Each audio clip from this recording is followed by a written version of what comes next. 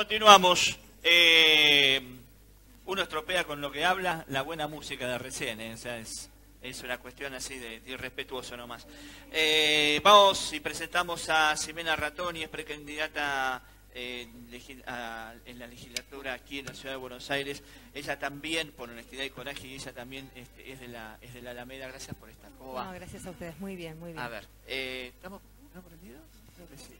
Ahí estamos, ahora sí.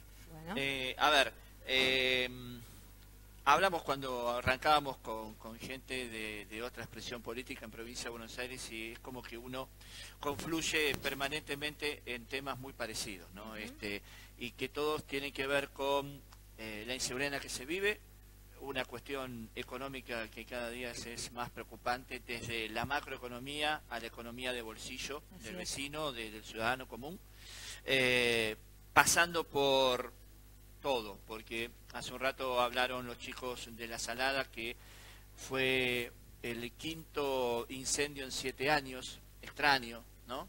En un ratito hablaremos con gente, con compañeros que trabajan este, en PepsiCo. En PepsiCo. Eh, y sí, uno podría sumar todos los días gremios, todos los días cuestiones salariales, todos los días compañeros que se quedan sin trabajo y que reclaman este, condiciones justas también. Eh, y es una cuestión de agotamiento. Uno dice, eh, viene fulano hoy para hablar de y lo despidieron. Viene fulano para hablar de y mirá, se quedaron sin laburo. O viene para y porque no aguanta más. Y viene porque lo mataron. pero viejo, son todos los mismos temas. Es como que vos pusieras un tape y cambias la cara de la persona. Así es. Pero es así, ¿hasta cuándo? Así es, y mira qué interesante lo que decís, porque nosotros, yo milito en la Alameda, además soy militante sindical, así que sabemos lo que tenemos que jugar todos los días organizándonos y resistiendo algunas cosas. Y justamente por eso, desde lo social, desde lo sindical y también desde lo político, nosotros venimos laburando y poniendo el grano de arena por lograr la máxima unidad en la acción frente a estas cosas, porque como vos bien decís, hay cosas que no son comunes y no importa lo que vos pienses, a quien vote, no son comunes. Y creo que frente a un, un gobierno absolutamente despiadado, necesitamos, cuesta mucho, pero necesitamos todos mm. trabajar por la mayor unidad en la acción. Y por eso desde lo político y de cara a estas elecciones, nosotros estamos muy contentos de que en la ciudad de Buenos Aires hayamos podido parir un frente único donde confluyen 19 partidos, donde van a disputar tres listas, es casi la única paso de verdad que va a haber en la ciudad de Buenos Aires, eh, que es el Frente Unidad Porteña. En este mismo entendimiento, digamos, obviamente tenemos matices, obviamente vemos algunas cosas diferentes, pero en lo central tenemos un acuerdo y creo que ha sido eh, una enorme alegría y es una importante eh, puesta para los porteños poder votar diferentes expresiones del campo popular y de lo que estamos resistiendo esto para, para estas pasos, digamos, ¿no? Eh, nosotros vamos con mucho orgullo y con mucho entusiasmo en nuestra lista Honestidad y Coraje, que la encabezan el compañero Guillermo Moreno para diputado nacional y Gustavo Vera para legislador y a los cuales acompañamos... Se han juntado dos luchadores. Se han juntado dos, luchadores, dos locos lindos, más lindos que como los pintan los medios o los grandes multimedios. Eh, y bueno, y nuestro nombre tampoco es casual, digamos, ¿no? Creemos que no solo es importante estar de acuerdo en el qué, sino que también es muy importante que impronta el quién y el cómo para, para, digamos, llevar adelante esto.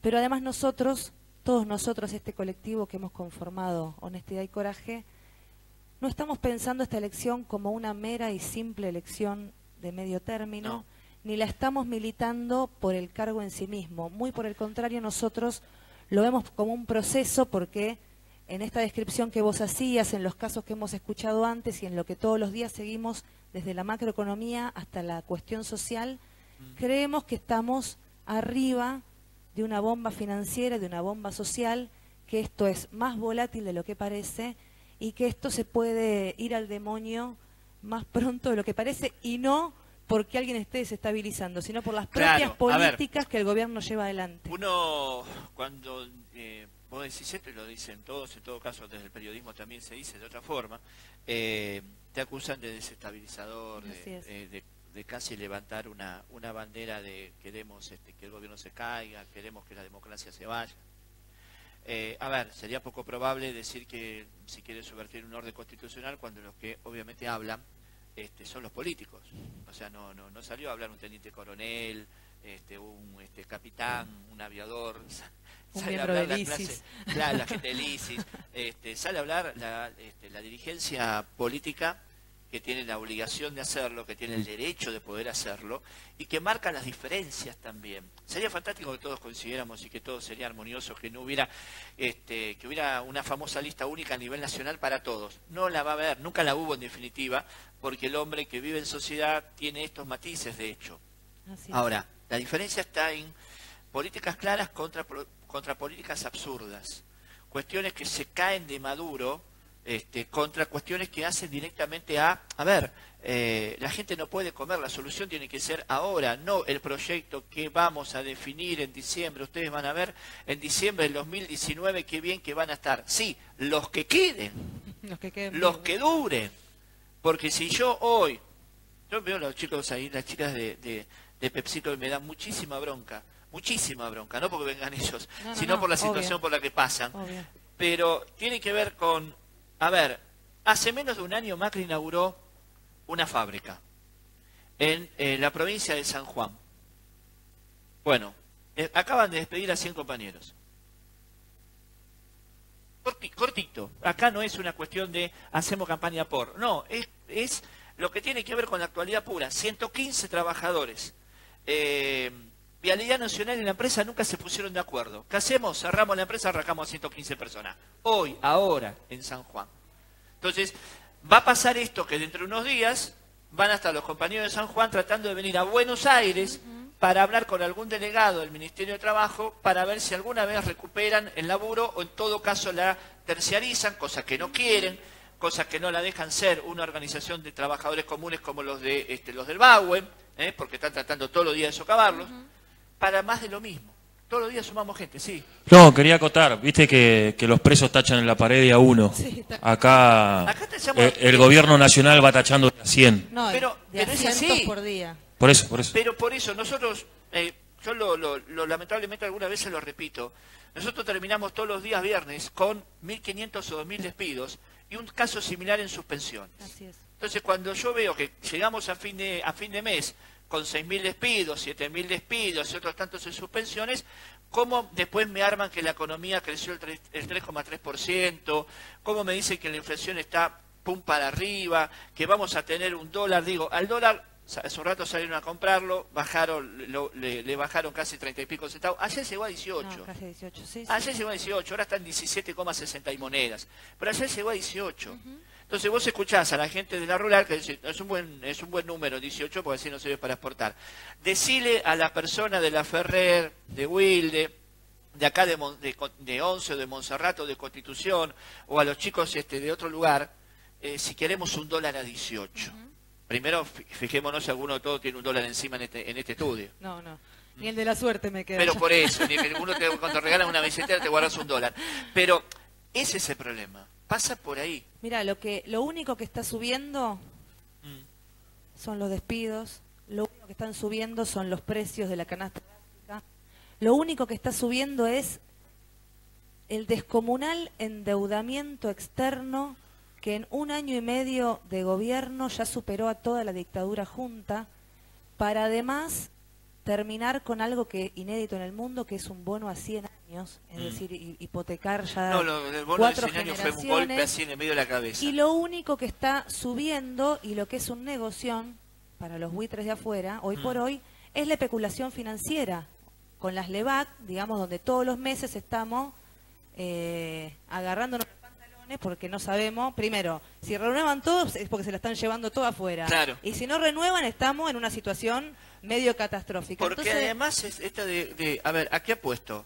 A invertir, le apuesto al crédito de la pyme y le doy condiciones de trabajo como crédito blando, ayuda financiera, le descuento impuestos, le doy a un plan de fomentación, armo un parque industrial que no sea los empujo para un lado y jodanse, arréndensela como puedan, y el parque industrial lo motivo, o voy a la bicicleta financiera. No, no, no, claramente hay toda una orientación para el saqueo, mm. para el saqueo en todos los órdenes, y además con el tupé del gobierno de todas las, discúlpame la palabra, guachadas nuevas que hacen, se las atribuyen a la supuesta herencia del gobierno anterior. Pero, pero en la ciudad no hay herencia. No tienen herencia, porque antes estuvo Macri y antes estuvo Macri. forzosa. Y antes estuvo Macri. Y en esta ciudad, ah. la más rica del país, la que produce el 24% del PBI, la que tiene el presupuesto más alto, pero por 20 veces que el resto de las localidades, Totalmente. de 3 millones de porteños, tenemos un millón cien que están entre indigentes bajo la línea de pobreza y lo que llaman, estos son datos de la ciudad, ¿eh? sí, sí, sí, sí, y lo que se llama clase media frágil, es decir, aquella que una hora extra menos y ya bajan a la línea de pobreza. Es decir, con la herencia de Macri, que antes fue Macri en la ciudad más rica del país, tenemos un millón cien mil porteños que no llegan a fin de mes, tenemos todavía, desde la semana pasada, los vecinos del conventillo de la Boca desalojados durmiendo en carpa en la puerta porque no hay una sola solución. Exacto. Tenemos un aumento escandaloso de gente en situación de calle. Entonces, la verdad, basta de verso. Yo el otro día hablaba con Tati este, y, me conmovió el tema de, toda la cantidad de gente que está en la calle. No, es infernal. En el centro sur de la capital, en los barrios sur de la capital, en, obviamente por ahí se extienden algunas otras zonas puntuales. Eh, y yo soy de la zona, yo soy del barrio. Y no lo vi nunca. Y preocupa. y me preocupa, a ver, y claro, me preocupa no, porque a ver si cuando paso por ahí alguno me quiere chorear. No, no, no, no, no, lo veo. No, no, los que están durmiendo en la calle no es porque son chorros. Es porque no se, no tienen ni para la pensión. Así es. Este, ya gatas juntan para comer una vez por día. O viven directamente de la caridad. Así es. Entonces, eh, eso que pensamos que no estaba o que ya no estaba, o que uno puede llegar a tolerar en una expresión muy mínima de porcentajes porque pasa en todo el, en todo el mundo, aunque uno no lo quisiera en el propio, eh, se expande todos los días. Es lo que vos decías antes. Hay una tabla de valores y de porcentajes que comienza a subir siempre para un mismo lado y bajar siempre para el otro.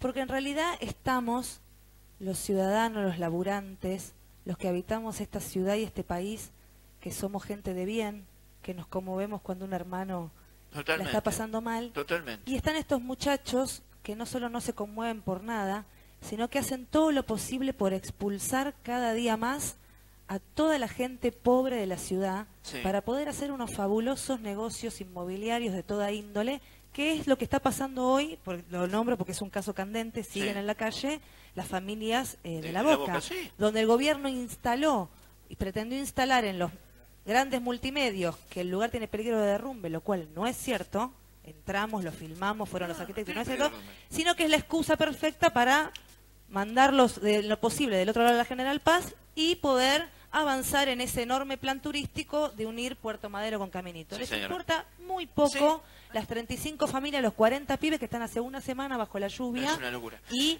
con solamente el apoyo de las organizaciones. Y además te lo mandaron, lo que decíamos este, estos días, te los mandan al padre y a los hijos varones a un refugio, a la madre y a las mujeres. O sea, además de la desgracia... que disgregan la familia. Exactamente. Te, hacen, te parten la familia por la mitad, con lo que además nunca se pudo solucionar todavía, que es la, el cómo se convive en los paradores con las cosas que pasan en los paradores. Y la gente que nos vino a contar aquí cómo viven en un parador. Va, viven esas horas que van. Sí, sí. Eh, en donde hasta ponen en riesgo su propia vida. Así es. Entonces, Este, los controles, si tenemos, a ver, muchas veces uno dice, tienen, mire, porque a esos que cobran los planes, esas cosas, ¿por qué no nos mandan? Bueno, mándenlo, muchachos, mándenlo a hacer censo, van a saber este, qué bien que está la ciudad en muchas cosas. Y se van a dar cuenta que no es así. Eh, Ayer había una frase, vos sos mujer, acá veo chicas por ahí, después le traslado la pregunta a todas ellas, que ayer nos conmovió y fue motivo de discusión en el resto de todos los programas, porque lo contamos nosotros aquí primero. Esto de la este, expresión de Lucía Galán. Ah. Que, a ver... Bastante increíble ella que tiene un que hogar tiene un hogar para chicos, que encima tiene 24 o 25 chicos y que tiene, este, espera y lo tiene. A ver, decir que las chicas se embarazan este, para cobrar la asignación universal por hijo es como que me lo estuviera diciendo Videla. No, es de una barbaridad increíble. Este, honestamente creo que es una desproporción tal este, cuando la situación uno la ve, que la gente no tiene nada. La, asignación universal debe ser de mil pesos o algo por el estilo. Yo le preguntaría a él, 1.500. 1.500 pesos. Yo le preguntaría a, él, a, la señora Lucía si ella piensa, y si así lo piensa, se va a quedar sin vender muchos discos o compactos, porque ella dice que las chicas se embarazan por esos 1.500 pesos, cuando creo que no entiende que lo que cuesta mantener un nene desde el minuto que, sale, desde el ah, minuto que nace. ¿eh? ¿Quién habló antes de pañales y de leche? La señora de, la, de, la, saladita. bueno, pañales, leche, atención médica, 1.500 pesos se te valen dos días. Dijo que necesitaba 500 para todo eso. 500 por como Mínimo. Como mínimo. Como, mínimo por día. Multiplicarlo te voy a dar Un dato, te voy a dar un dato de la ciudad. Ah. Eh, para que tengamos una referencia, eh, hay una estadística que plantea que para que una familia viva dignamente, medianamente dignamente, tiene que ganar por lo menos mil pesos por día. Imposible. A cuando tenés un promedio salarial de, 10 o 11 lucas. Es decir, menos la mitad. Pero volvemos a eso. Por eso tenemos un millón cien mil porteños. Bajo la línea de pobreza. Sí. Digamos claramente. Por eso yo, como decía antes, con la gente de, de todo por Buenos Aires y, la, y me olvido de los jubilados estas frases aberrantes, casi de, un gorilismo estúpido. Pero por eso, yo ayer dije, esta mujer no puede decir esto. También hablan de esos corazones que están marchitos, que están cerrados, ¿no? Siempre me acuerdo cuando hacíamos con Bergoglio las misas en Constitución contra la trata de personas. Que he participado de muchísimas. Y él siempre apelaba a, al pasaje donde la pregunta es ¿dónde está tu hermano? Claro. ¿no? digamos, no, no estamos mirando al otro desde un lugar de hermano. Y esto lo expresan desde el arte, desde el periodismo, desde la política, un montón de sectores, desgraciadamente, que suelen ser los mismos que atacan a Francisco todo el tiempo sin entender que es un guía espiritual para el mundo mm. eh, y que es el argentino más importante de todos los tiempos. Además se lleva, este, se lo trata obligatoria casi, obligatoriamente casi de enmarcarlo en frase política. Efectivamente. Es como lo tenemos que enmarcar, entonces es el Papa peronista, no el Papa es el Papa, y si es peronista, que sea peronista, y si es de izquierda, que sea de izquierda, que sea de donde sea, pero no podemos a la distancia, a miles y miles de kilómetros, esperar que lo que el Papa dice el miércoles eh, o, el domingo en sus dos homilías este, eh, o, en el Ángelus termina siendo no, le está hablando a fulano, no, le está hablando no, no le está hablando, le está hablando al mundo, muchachos. Bueno, pero eso tiene que ver con, con ese ombliguismo y la verdad, eh, Francisco siempre resalta algo que, que no es el único que lo dice, pero es la voz más escuchada del mundo, que la verdad hay que meterse en política. Porque la política es la forma más alta de caridad, la política bien entendida. Claro. Y creo que en ese sentido... Es mejorar las condiciones. En ese sentido me parece que todos los que tenemos esa vocación, desde ese lugar debemos desarrollarla. Los otros, mm. Los que se meten por guita, como decía Mujica en el Uruguay, más vale no se metan, muchachos. Sigan haciendo plata. Qué, bueno hubiera sido tener un Mujica acá también. Bueno, bueno. Qué lindo hubiera sido. Pero hay que, hay ¿Sabes que a cuánto acomodaba? No, yo creo que hay, hay mucho dando vuelta, eh, muchos dirigentes y referentes dando vuelta, y nosotros creo, con mucho orgullo lo decimos, tenemos varios de esos en nuestras listas. Está llena de dirigentes sindicales, sociales, de toda la ciudad, y tenemos dos cabezas de lista que hablan por sí solas su trayectoria, insisto más allá de la demonización atroz de la que son víctimas, sobre todo Guillermo, son dos personas que se entregan todos los días a, esto que es la forma más alta de caridad, que están o han estado en la función pública y han entrado como han salido, mm. que no tienen una sola causa por corrupción, eh, que han, en el caso de Guillermo, cuidado durante muchos años la mesa de los argentinos, esa que hoy cuesta poner eh, eh, en el plato cosas adentro, y otro que también predica con el ejemplo desde la ciudad, tanto en el control de las estafas cotidianas del PRO como en el impulso de, una cantidad de proyectos y, de denuncias que tienen que ver con mejorar la seguridad, la calidad del trabajo y demás. Así que desde Honestidad y Coraje, en el Frente Unidad Porteña, lista 501C, con alguno de estos conceptos que pude verter y con mucho calor en el corazón, nosotros apostamos a ser los que ganemos las pasos de este frente para ponerle esta impronta eh, atendiendo no solo al cargo, ni siquiera por encima al cargo que disputa cada uno, sino tratando de plantar una bandera en este proceso, porque la cosa viene complicada y vamos a necesitar mucha honestidad y mucho coraje para enfrentarlo. Totalmente. Sí, mira, vamos a seguir hablando y van a seguir este, otros compañeros otros días. Muchas gracias. Gracias por estar, gracias por esperarnos. Gracias, muchas gracias a usted.